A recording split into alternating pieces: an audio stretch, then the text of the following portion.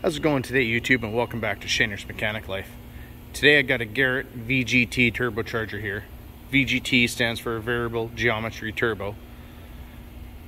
What they do is under low speed it restricts the exhaust flow through the turbo which increases turbine power and boost pressure. Then at high speeds the vanes open which maximizes exhaust flow, avoids turbo overspeed, and maintains the required boost pressure. Problem with this one is we've got a leak in the turbine housing. As you can see right there. So what I'm going to do, I'm going to open it up, show you guys what's on the inside, and give you a brief description on how it works. Anyway, here we go. So mounted on the center section of the turbo, you've got this actuator. This is your vane position sensor. This is a solenoid that actuates the vanes and the computer will tell it what position it wants to go in. Now all these parts are mounted inside the turbine housing. So I'm going to remove this clamp, take it apart, and show you what's inside. Now before you take it apart, you want to mount it in a vise with the turbine or the exhaust side down because all the moving parts are inside the turbine. So once you get this clamp off, you lift the impeller in the center section up, all the guts should stay down in the bottom. If you do it the other way around, it's just going to be a mess all over the floor. So just get your clamp out of the way. And it's probably going to be carboned up inside, which kind of bind the two halves together. So just a little jiggle and wiggle and even a little, a little tap with a hammer to break it free. Just a tap, you don't want to beat on it and cause more damage. So, once you get that off, lift that section out, lay it down on your workbench.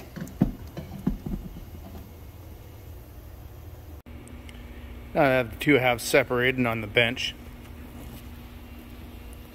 You can see here, this is what your actuator turns. And here's the lining dowel, which goes into this part of the center housing, or turbine, sorry. And that actuator goes into here. And when that solenoid moves it, you can see those vanes will change position, which changes the speed of the turbo and changes the boost. Now a lot of times what happens is these get all carboned up and they stick and they get damaged if you get debris going through there. But this one was operational.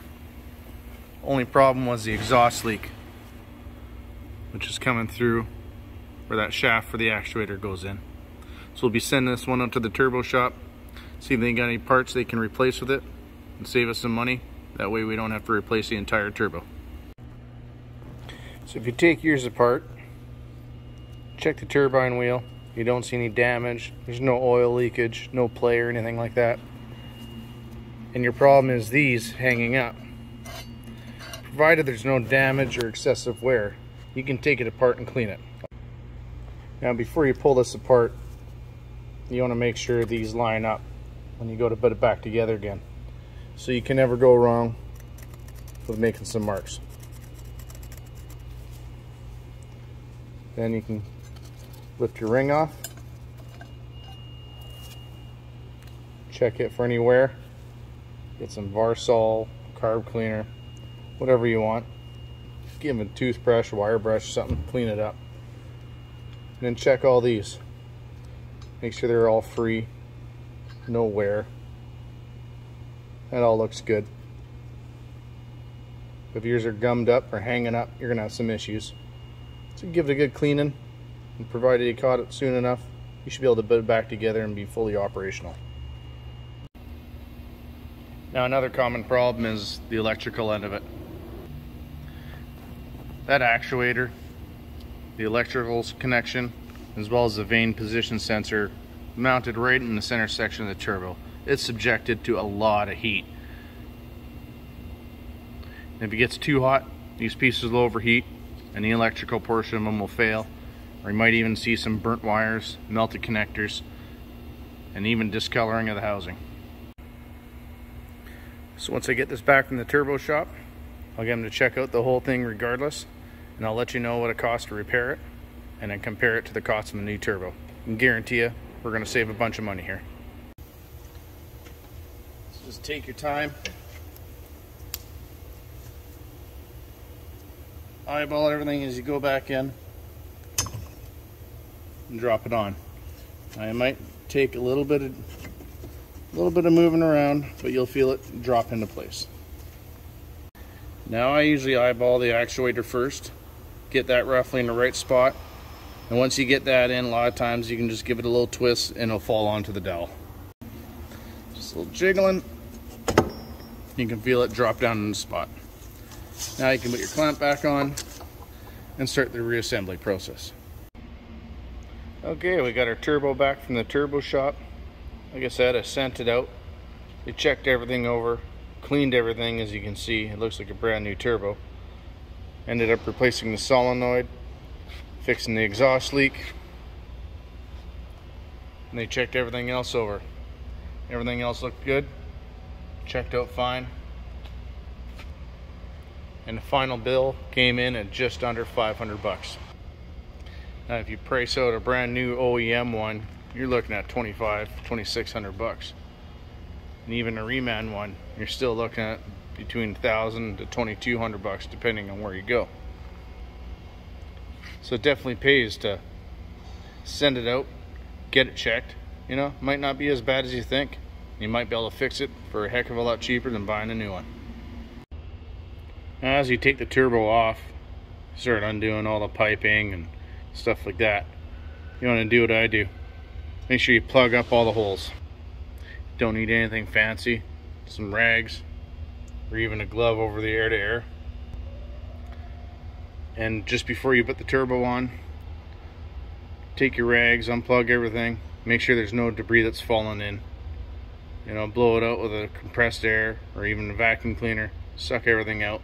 The last thing you want to do is be uh, throwing debris through your either your new turbo or your rebuilt or your repaired. Now I'm going to give you a few tips on what to do before you fire this thing up for the first time after you get it bolted on.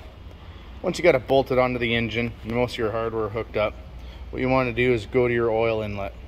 You want to fill this with new clean engine oil. Spin your compressor wheel a little bit. Make sure it coats all the bearings on the inside and then go and top it up again. Now you can go ahead, hook up your oil feed line, and you're not quite ready to start it yet. What you want to do is disable the fuel system first. So that way you want to be able to crank it for a good 15 seconds or watch your, your oil pressure gauge until you get full oil pressure. Now you think it's all ready to go, go ahead, give everything a double check. All your connections, all your nuts and bolts, make sure you haven't forgotten anything. And then go ahead and fire it up. Just let it idle, you know, five, ten minutes. Last thing you want to do is fire it up right away and just put your foot to the floor. As it's idling, just give it a good visual, listen to it. Do you hear any exhaust leaks? Look for any fluid leaks. If everything looks good from then on, go ahead, take it for a small test drive come back, double check it, and you should be good to go. Well, I hope you found this video helpful, entertaining, and informative. Just want to end this video by thanking all my new subscribers. Bigfoot80, thanks for subscribing. Appreciate all my subscribers. Let me know what you think in the comments section. Hit that like button to subscribe. I got more videos coming. Anyway, have a good night everybody. And thanks for watching.